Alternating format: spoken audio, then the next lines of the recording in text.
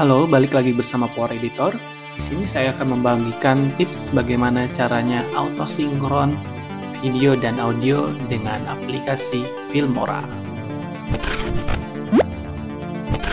Oke, sebelumnya terima kasih yang sudah menonton video-video saya tentang tutorial. Di sini saya akan memberikan tips sedikit tentang auto sinkron atau menyinkronkan video dengan audio pada aplikasi Filmora. Pertama, di sini saya mempunyai video. Di sini nah, saya akan berbagi okay. bagaimana Video ini udah ada audionya ya. Ini saya record langsung menggunakan Camtasia.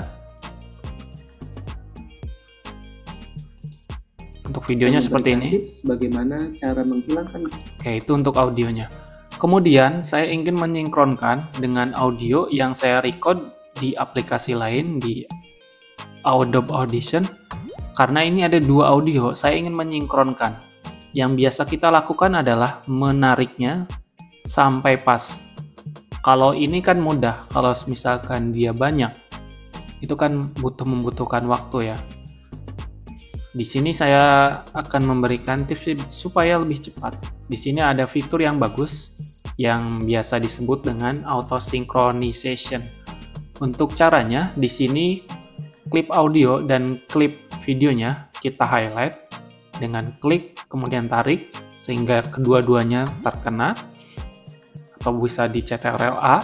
Kemudian kita bisa pergi ke tool auto synchronization atau dengan cara kedua highlight, klik kanan, kemudian klik auto synchronization. Tunggu sebentar, AI-nya itu akan bekerja. Untuk durasi AI bekerja ini sesuai dengan track yang kita gunakan. Seberapa panjang maka seberapa lama itu AI-nya akan bekerja.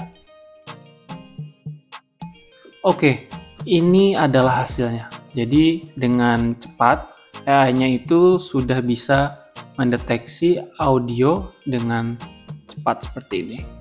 Mungkin ada sedikit miss itu sepersekian detik ya.